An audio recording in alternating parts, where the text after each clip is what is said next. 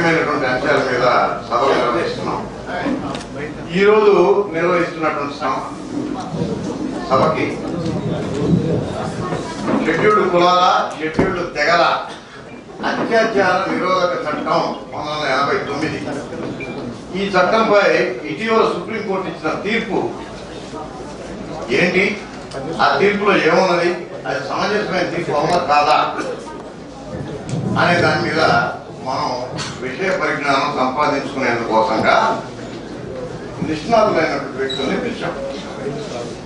అదేవిధంగా ఈ మధ్య జడ్జెస్ మీద సుప్రీంకోర్టు జడ్జి మీద అభిశంసన కార్యక్రమం కూడా ఒకటి ప్రయత్నం జరిగింది. కాబట్టి ఈ అభిశంసన అంటే ఏంటి?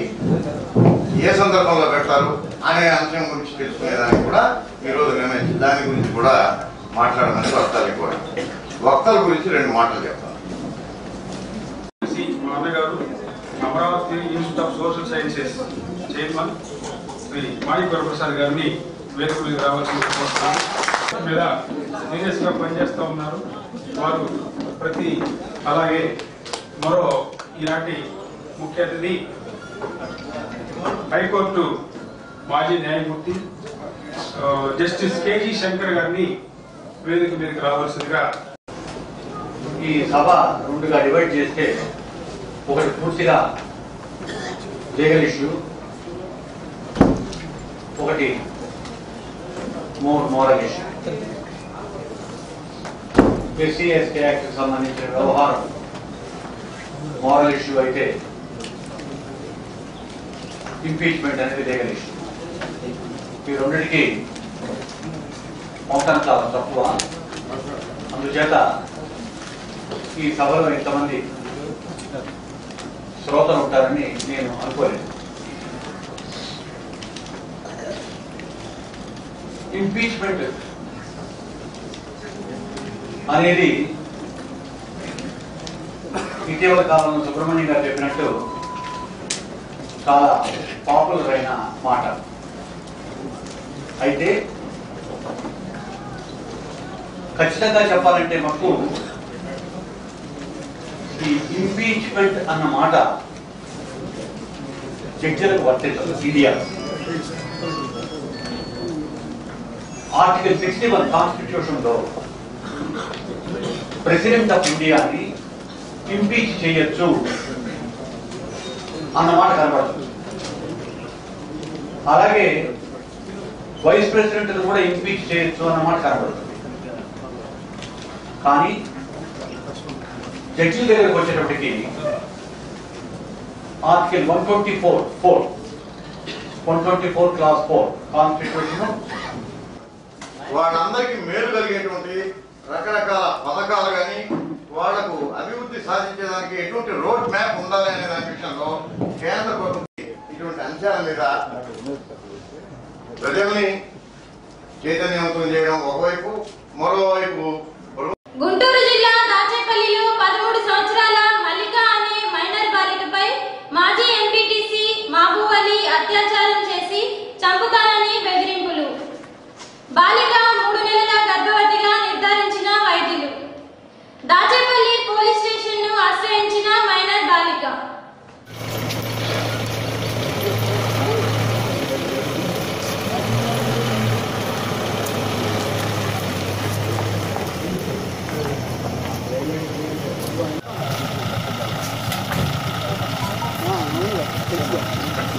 ఇప్పుడే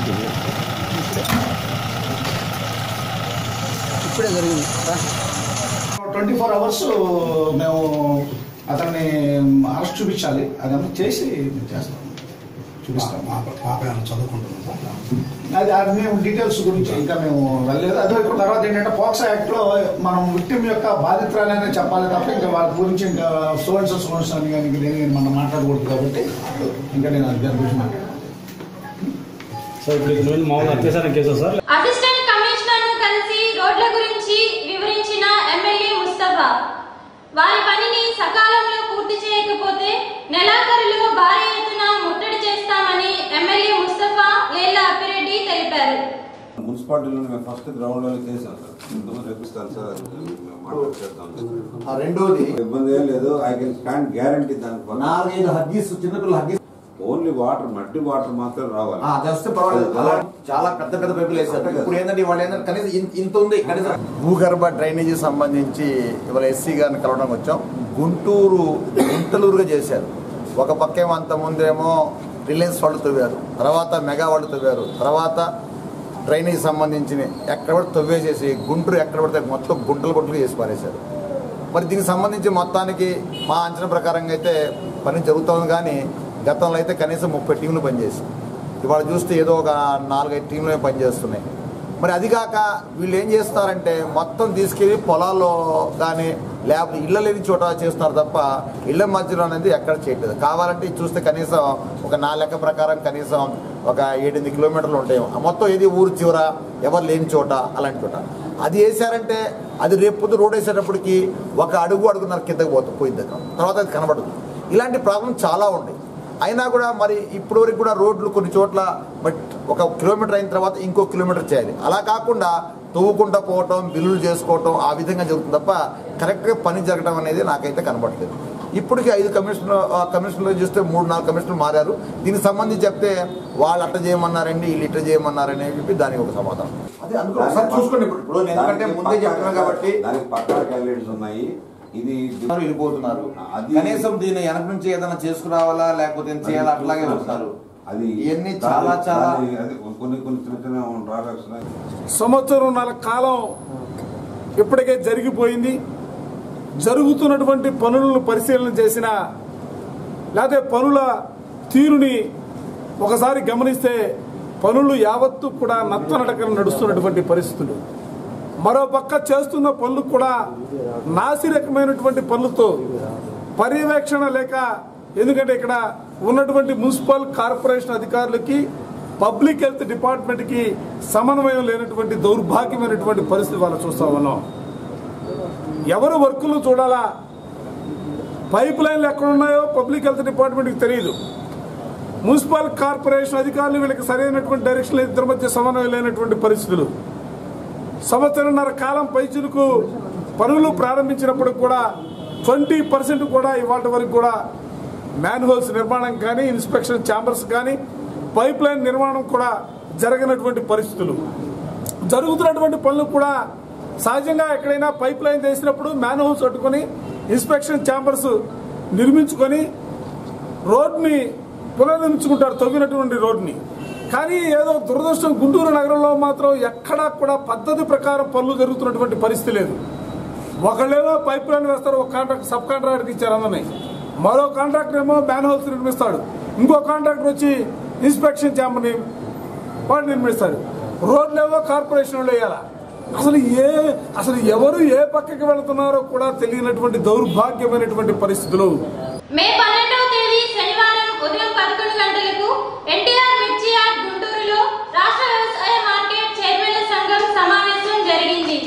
ఈ సందర్భంగా మన్నా మాట్లాడుతూ మార్కెట్ చట్టంలోని రూల్ ప్రకారం కమిటీ చైర్మన్లకు విస్తృతమైన అధికారాలు ఉన్నాయన్నారు. ఉన్నతాధికారుల జోక్యంతో చైర్మన్ల అధికారులకు గండిపడుతున్నట్లు తెలిపారు. మార్కెట్ కమిటీ చైర్మన్ యొక్క అధికారాలని ఖచ్చితంగా అమలు చేయాల్సిన అవసరం ఉంది. మార్కెట్ కమిటీ చైర్మన్లు ఉత్సవ విగ్రహాలు కాదు. మార్కెట్ చట్టంలోని రూల్ ఇరవై ఎనిమిది ప్రకారం ఏదైనా కీలకమైన అంశాలపై నిర్ణయం తీసుకునే నిర్ణయాధికారం సర్వాధికారం చైర్మన్లకే ఉన్నది. అయితే ఇక్కడ వాళ్ళ అధికారాలను హరించే విధంగా ఉన్నతాధికారులు అన్ని విషయాల్లో జోక్యం చేసుకోవటం అనేది మంచిది కాదు. దానివల్ల రైతాంగ ప్రయోజనాలకు విఘాతం కలుగుతుంది. ఇది ప్రధానమైన అంశం. రెండవది మార్కెట్ కమిటీ చైర్మన్ల యొక్క కాల పరిమితి నిర్దిష్టంగా లేకపోవడం వల్ల అభద్రతా భావానికి లోనవుతూ ఉన్నారు. వారు ఎప్పుడు వెళతారా అని ఇక్కడ ఉన్నటువంటి అధికారులు ఎదురు చూడటం వల్ల ఇక్కడ చైర్మన్ల యొక్క నియంత్రణ తగ్గిపోతూ ఉంది.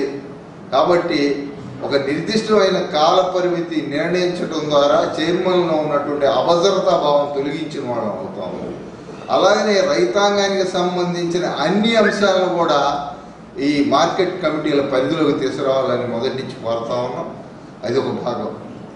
రెండవది ఏంటంటే నిన్న తిరుపతిలో జరిగినటువంటి సంఘటన. తిరుపతిలో జరిగిన అమిత్ షా మీద జరిగిన దాడిని అందరం కూడా ముక్తఖండంగా ఖండిస్తా ఉన్నాం.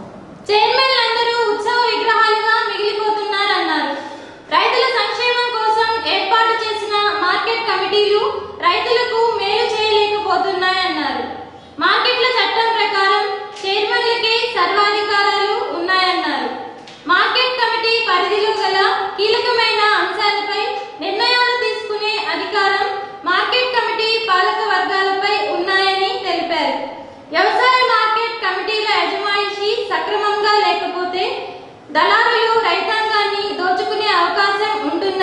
తెలిపారు పాలక వర్గాల కాలపరిమితిపై స్పష్టత లేకపోవడం వల్ల చైర్మన్ల అభద్రతా భావానికి లోనవుతున్నారన్నారు.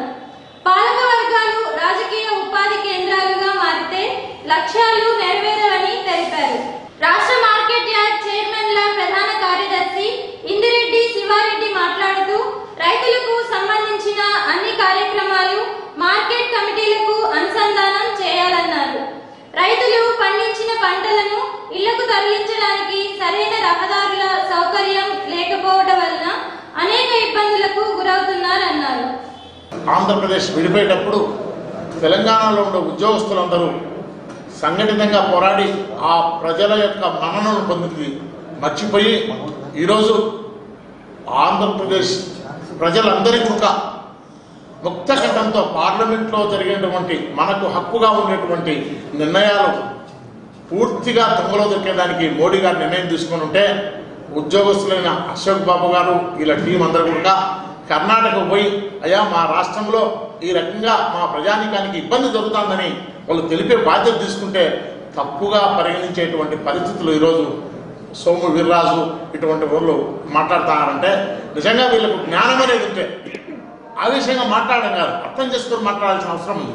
కాబట్టి ఈ వ్యక్తులందరూ కూడా తెలంగాణ ఉద్యమంలో వాళ్ళు చేసినటువంటి అప్పుడు ఎందుకు మర్చిపోయినారు ఈ రోజు మన ప్రయోజనాలను వాళ్ళు బ్రహ్మాండంగా పోయి కర్ణాటకలో కూడా ఇక్కడ అన్యాయం జరిగిందని తెలిపే బాధ్యత తీసుకుంటే వాళ్ళని నిజంగా పొగడాల్సింది పోయి వాళ్ళని విమర్శించే స్థాయికి దిగజారితే ఇంకా ఎక్కడ మాట్లాడాలనో వీళ్ళ యొక్క బీజేపీ వాళ్ళు కానీ ఈ వైసీపీ నాయకులు కానీ వీళ్ళందరూ కూడా ఆంధ్రప్రదేశ్ రైతుల మీద.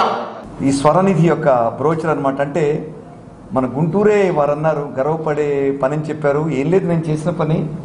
సంగీతంలో వారు చెప్పేశారు. మరి ఏమి సంగీతం తెలీదో సాహిత్యం తెలుసుగా మొత్తం నేను చెప్పాల్సిన క్రిస్టలైజర్గా చెప్పేశారు. Seventy two మేళకర్తరాగా is nothing but value music అంటే అంటే ప్రపంచ సంగీతం మొత్తం కూడా మన డెబ్బై రెండు మేళకర్తరాగాల్లో నిక్షిప్తమైంది. అలాంటి డెబ్బై రెండు మేళకర్తరాగాల్ని నేను ఇరవై సంవత్సరం దీనికోసం పనిచేయటం ఆ డెబ్బై రెండు మేల కృతరాగాలను కలిపి ఆరున్నర నిమిషాలు ఒక కీర్తనలాగా చేయటం జరిగింది. అమ్మవారి అనుగ్రహం అది. ఎందుకంటే ప్రపంచంలో ఇంతమంది మేధావులు ఉండగా సంగీతంలో ఇంతమంది గొప్పవాళ్ళు ఉండగా మరి అమ్మవారు నన్ను ఎందుకు ఎంచుకుందో తెలియలేదు. నన్ను ఎందుకు సాధనగా వాడుకుందో నాకు అసలు తెలియదు. అందుకే ఇది అమ్మవారికి అంకితం. ఇలా గౌరవించి అందరికీ అంకితం. నేను చేసినట్లు కాదు అది. అది అమ్మవారి సృష్టి. అయితే అది ఏంటంటే it's very easy to the world. ప్రపంచంలో పిల్లలు నేర్చుకోవడానికి చాలా ఈజీగా ఉంది కాబట్టి అందరికీ చెప్పాలని నేను ప్రయత్నం చేస్తుంటే వారు వచ్చి ఒక పావు గంట సేపు మాట్లాడి ఇది అందరికి అందేటట్టుగా మేము చేస్తామండి ప్రభుత్వ దృష్టి కూడా తీసుకొస్తాము ప్రభుత్వ సహకారం అందిస్తామన్నారు. లక్ష మందికి ఇది ఉచితంగా చెప్పాలని నేను ధ్యేయంగా పెట్టుకున్నానండి. నా జీవిత ధ్యేయం ఏంటంటే లక్ష మంది కనుక ఈ కొత్త సిద్ధాంతాన్ని ఉచితంగా చెప్తే ఆ లక్ష మంది ఒక్కళ్ళు పది మంది కనుక ఉచితంగా చెప్తే ప్రపంచం అంతా సుసంపన్నం అయిపోతుంది ఇది తల్లి చనుబాలు లాంటిది కాబట్టి అందరికీ ఆప్యాయతగా పిల్లలకు నేర్పాలనే ఉద్దేశంతో ఉన్నారండి. గుంటూరు వాడిని కావటం గర్వపడుతున్నాను. మా సుబ్బారావు గారు లాంటి వాళ్ళు వారి మిత్రులు అందరినీ చూశాను ఇక్కడ. వాళ్ళు మాట్లాడటం చూశాను. రైతుల కష్టాల గురించి రైతుల గురించి మాట్లాడుతున్న నేను కూడా రైతునే. మాది రావెల పక్కన. మా మా ఊళ్ళో రైతులు రావటం ఇక్కడ రావటం అన్నీ నాకు బాగా తెలుసు. అందువల్ల ఈ మిర్చి యార్డు క్షేమంగా సుశిక్షంగా అందరికీ మంచి సేవలు చేస్తూ ప్రభుత్వం తరఫుగా ప్రజల కష్ట సుఖాలను తెలుసుకుంటూ వాళ్ళకి చేదోడు వాదోడుగా ఉంటుందని కాదు ఉన్నది ఉండబట్టి వాళ్ళ వాళ్ళ బాధలు తెలుసుకోవడానికి గుంటూరు ప్రభుత్వ ఆసుపత్రిలో శనివారం నర్సుల మీటింగ్ జరిగింది ఈ సందర్భంగా సూపరింటెండెంట్ రాజు నాయుడు మాట్లాడుతూ నైటింగేల్ ప్రపంచంలోనే మొట్టమొదటి నర్స్ అని ఆమె సేవలు కొనియాడదగినవని యుద్ధ సమయంలో ఆమె చిన్న ల్యాంప్తో సేవలు చేసిందని అందుకే ఆమెకు లేడీ ఆఫ్ ది ల్యాంప్ అని ప్రపంచం బిరుదునిచ్చిందని ఆమెని నర్సింగ్ సూపరింటెండెంట్ పుష్ప గారు మాట్లాడుతూ నర్సింగ్ సేవలు కొనియాడదగినవని రోగుల పాలిట దేవతల్లా పనిచేస్తున్నారని అన్నారు. సిఎస్సి ఆర్ఎన్ ఆదినారాయణ గారు nursing association president Tirupatamma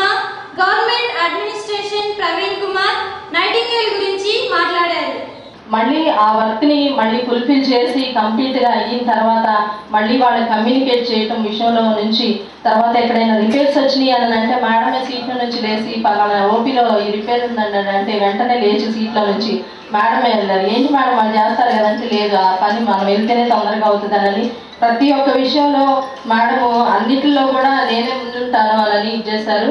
even తల్లి బిడ్డ ఎక్స్ప్రెస్ దాంట్లో కూడా పూనం మాల్కొండ మేడం దగ్గర మంచి పేరు సంపాదించుకున్నారు మేడం. ఎందుకంటే అంత హార్డ్ వర్క్ మనం చేస్తున్నాము. సో మేడం చెప్తూ ఉంటారు ఎప్పుడు కూడా మనం హార్డ్ వర్క్ చేస్తే మనకి దానికి ప్రతిఫలం ఉంటుంది అని సో అది బాగా నమ్ముతారు మేడము. సో అదే అదే విధంగా ఎవరైనా ఏదైనా వాడు చేయము అంటే హలో నువ్వు చేయాల్సిందే ఈ అని అంటారు. సో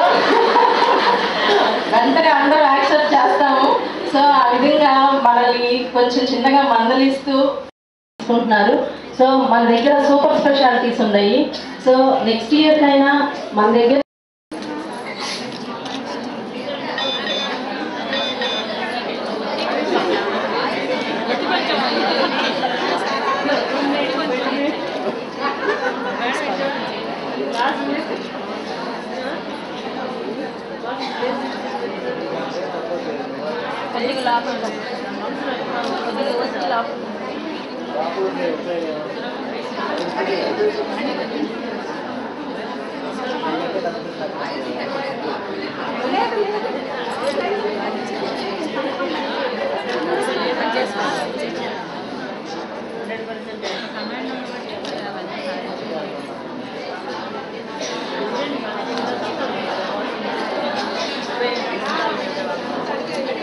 ప్రెసిడెంట్ పుష్ప గారు తర్వాత తిరుపతమ్మ గారు ప్రెసిడెంట్ మన అసోసియేషన్ ప్రెసిడెంట్ తిరుపతమ్మ గారు ఆశ సెక్రటరీ నాకు తర్వాత అడ్మినిస్ట్రేటరు ప్రవీణ్ గారు. ఇప్పుడు ప్రవీణ్ గారు చెప్పింది ఏంటంటే నర్సెస్ ఆర్ ద ఏంజల్స్ అన్నారు. నేను ఇంకోటి చెప్తున్నా దానికి ఇంకొక మాట. Nurses are the pillars of the hospital. Nurses లేదే హాస్పిటల్ కాదు కదా క్లినిక్ కాదు కదా ఎక్కడ కూడా ఇంజెక్షన్ పట్టుకోవడానికి కూడా మే పదకొండవ తేదీన చేబ్రోలు గ్రామానికి చెందిన ఆలపాటి రామకృష్ణ అనే వ్యక్తి ఇచ్చిన ఫిర్యాదు మేరకు Guntur urban SP CH Vijayarao గారి ఉత్తర్వుల మేరకు QRT SI Sheikh Nagoor Meelavali Saheb Prathipati SI B Bhargav గారు వారి సిబ్బందితో కలిసి పన్నెండవ తేదీన కోయవరపాలెంలోని క్రికెట్ బెట్టింగ్ స్థావరాలపై దాడి చేసి ప్రతిపాడు పోలీస్ స్టేషన్ కేసులో ఆరుగురు వ్యక్తులను అదుపులోకి తీసుకున్నారు. వారి వద్ద నుండి పదమూడు సెల్ ఫోన్లు మూడు ఏటీఎం కార్డులు ఒక కారు రెండు బైకులు ఒక టీవీ క్యాలిక్యులేటర్ మరియు రెండు లక్షల తొంభై ఏడు వేల రూపాయల నగదు స్వాధీనం చేసుకొని అరెస్టు చేయడం జరిగింది. ఈ కేసులో బుక్కీలు మరియు క్రికెట్ బెట్టింగ్ కాసిన వారి వివరాలు తెలుసుకొని వారిపై కూడా కేసులు పెడతామని శ్రీ ఎస్పీ గారు చెబుతూ ఈ జూదం అనేది వ్యసనం. ఏదో ఒక రూపంలో మనుషుల జీవితాలతో ఆడుకుంటూ ఎన్నో కుటుంబాలను రోడ్డున పడేస్తుంది. ఇకనైనా యువత కళ్ళు తెరుచుకుని క్రికెట్ బెట్టింగ్లకు దూరంగా ఉండాలని కోరుతున్నారు. ఈ దాడుల్లో పాల్గొన్న అధికారులను మరియు సిబ్బందిని శ్రీ గుంటూరు అర్బన్ ఎస్పీ గారు అభినందించారు. మనకి Sathyapadu police station Nagarampalem police స్టేషన్లో ఒక క్రికెట్ బ్యాటింగ్ సంబంధించి రెండు కేసులు నమోదు చేయడం జరిగింది. ఇందులో వీళ్ళు మనకున్న క్రెడిబుల్ ఇన్ఫర్మేషన్ ప్రకారం ఒక సెవెన్ మెంబర్స్ని రెండు డిఫరెంట్ పోలీస్ స్టేషన్స్లో నమోదైన కేసుల నిమిత్తం రెండు పోలీస్ స్టేషన్లో రెండు క్రైమ్ నెంబర్లలో seventy by eighteen four twenty IPC and section three and four D AP gaming act కింద ఒక కేసు. అలాగే నగరంపాలెం పోలీస్ స్టేషన్లో నూట ఇరవై రెండు క్రైమ్ నెంబర్లో అది కూడా సెక్షన్ ఫోర్ ట్వంటీ అలాగే three and four AP gaming act కింద నమోదైన రెండు కేసుల్లో కూడా మనం ఈరోజు ఎవరైతే ఇల్లీగల్ యాక్టివిటీ అయిన క్రికెట్ బెట్టింగ్ అనేది ఆడుతున్న సందర్భంలో మనం వీళ్ళందరినీ కూడా కస్టడీలో తీసుకోవడం జరిగింది. ఇందులో ప్రధానంగా నామ ఓంచంద్రరావు ఇతను ఇంటి దగ్గర ఇతని కోయవారిపాలెం క్రికెట్ బెట్ ఇది కోయవారిపాలెం ఇది ప్రతిపాడు పోలీస్ స్టేషన్ లిమిట్స్ అతని ఇంటి దగ్గర ఈ ఈ రిమైనింగ్ బ్యాచ్ అంతటిని కూడా మనం కస్టడీలో తీసుకున్నాం. నామ పూర్ణచంద్రరావు అలాగే వడ్రానపు వెంకటేష్ కాకర్ల అరుణ్ బాసు అరుణ్ బోస్. తర్వాత బొందలపాటి శివనాగేశ్వరరావు పటాలం సాదిక్ కంకిపాటి రామకృష్ణ అనేవాళ్ళు నగరం ఆ, ప్రతిపాడు పోలీస్ స్టేషన్లో ఇందులో అక్యూజ్డ్గా ఉన్నారు. అయితే ఇంకొక వ్యక్తి నగరంపాలెం పోలీస్ స్టేషన్లో ఆలపాటి రవితేజ అలియాస్ నాగా. ఇతను కూడా మనం ఈ క్రికెట్ పె- క్రికెట్ పెట్టిన దాంట్లో అరెస్ట్ చేయడం జరిగింది. వీళ్ళందరూ కూడా ఒక పూర్ణచంద్రరావు అనే అతను సబ్బుకిగా ఉన్నాడు. ఇంకా చాలా మంది కొంతమంది చాలా మంది కాదు కొంతమంది ఉన్నారు. వాళ్ళని కూడా ఇన్వెస్టిగేషన్లో మేము తీసుకొచ్చి అప్రహెండ్ చేస్తాం I think as per our information they are outstanding no ఇందులో భాగంగా మనం దాదాపు రెండు లక్షల తొంభై ఏడు వేల రెండు వందల రూపాయల క్యాష్ని సీజ్ చేయడం జరిగింది. అలాగే నాలుగు ఏటీఎం కార్డులు వాళ్ళు ఏదైతే క్రైమ్ ఉందో ఆ క్రైమ్కి ఉపయోగిస్తున్న ఏటీఎం కార్డ్స్ కూడా నాలుగు సీజ్ చేసాం సెల్ ఫోన్స్ పదిహేను సెల్ ఫోన్లు ఇంతకుముందు మనకి పోయిన సంవత్సరంలో ఈ ఐపీఎల్ మ్యాచ్ జరిగేటప్పుడు ఈ కమ్యూనికేటర్స్ తర్వాత టీవీస్ ఎక్కువ మొత్తంలో అధికంగా సీజ్ చేసి మీ అందరికీ గుర్తే ఉంటుంది కానీ ఈసారి వీళ్ళు ఎంఓ మార్చి కొంతమంది ఏం చేస్తారంటే ఇప్పుడు బాల్ టు బాల్ కాకుండా మ్యాచ్ టు మ్యాచ్ అంటే మ్యాచ్ అయిపోయిన తర్వాత దాని రిజల్ట్ మీద they are they are betting it betting on దాని మీద అట్లా నడుస్తున్నాయి. దీంతో పాటు వీళ్ళందరూ ఉపయోగించే ఒక కారు. ఆ కారు దాంతోపాటు మూడు బైక్లు ఒక స్కూటీ కూడా మనం సీజ్ చేయడం జరిగింది. ఒక టీవీ అలాగే చిన్నది ఒకటి లెక్కలు చూసుకోవడానికి మంచి క్యాలిక్యులేటర్ కూడా మనం సీజ్ చేయడం జరిగింది. ఇవి మనం ఒకసారి కాదు రెండు సార్లు కాదు చాలాసార్లు మనం ఈ సంవత్సరంలో అయితే ఇది మూడోసారి క్రికెట్ బెట్టింగ్ అనే దాని మీద మనం ఫస్ట్ మీట్లు పెట్టడం. ఎప్పుడైతే ఐపీఎల్ మ్యాచెస్ ఉన్నాయో మేము కూడా ఎక్కువ వీళ్ళ ఫోకస్ చేయడం లేకపోతే India versus other countries New Zealand England Australia South Africa ఇట్లా వేరియస్ కంట్రీస్తో మ్యాచెస్ పెట్టేటప్పుడు కూడా మేము వాచ్ చేస్తున్నాం. అయితే మన కుర్రాళ్ళు వీళ్ళు మార్పు రావాలి. తల్లిదండ్రులు వాచ్ పెట్టాలి. తల్లిదండ్రులు తల్లిదండ్రుల మాట కూడా వినుకోకుండా వీళ్ళు పెద్దాక ఇదే యాక్టివిటీ ఇదే క్రమంలో చేస్తుంటే అరెస్ట్ అయిన వాళ్ళే పద్దాక అరెస్ట్ అవుతున్న కొన్ని సందర్భాలు అందరూ కాదు కొన్ని సందర్భాలు ఉన్నాయి. అట్లాంటి రిపీటెడ్గా మేము అరెస్ట్ చేసినా సరే మళ్ళీ ఇదే యాక్టివిటీలో పాల్గొంటే కనుక ఈ వీళ్ళందరి మీద సస్పెక్ట్ షీట్స్ ఓపెన్ చేస్తాం. ఒకవేళ రిపీటెడ్గా చేస్తుంటే ఫస్ట్ టైం అయితే కనుక వీళ్ళు నాట్ ఓపెన్ ద షీట్స్. అంటే రిపీటెడ్గా మళ్ళీ ఇదే కార్యక్రమాన్ని వీళ్ళు కొనసాగిస్తే మేము షీట్స్ అనేది ఓపెన్ చేస్తాం. ఇవి మేము గతంలో కూడా చెప్పాం భవిష్యత్తు అంధకారంలో పోతుంది దీనివల్ల కష్టంగా కష్టపడందే కష్టపడిన కష్టపడి సంపాదించింది మాత్రం మిగులుతుంది. ఇట్లా ఈజీ మనీకి అలవాటు పడద్దు నీ భవిష్యత్తును పాడు చేసుకోవద్దు అని. అయినా సరే వీళ్ళు మనం చెప్పిన మాట పెడచాన్ని పెట్టి వీళ్ళు అనుకున్న పనులు వీళ్ళకి కావాల్సిన కార్యక్రమాలు అన్ని కూడా కొనసాగిస్తున్నారు. ఇది యువత అంతా కూడా పె- పెడద్రోవ పట్టించడానికి ఇదంతా కూడా కారణమవుతుంది. వీళ్ళు చూడండి వీళ్ళు చేస్తున్న లెక్కలు. వీళ్ళు వేసుకున్న లెక్కలు ఇదంతా కూడా మీకు ఓకే సార్. నంబర్ ప్లేట్తో తీసుకుంటే ఉపయోగపడుతుంది ఉపయోగపడి ఎక్కడగా ఉంటుంది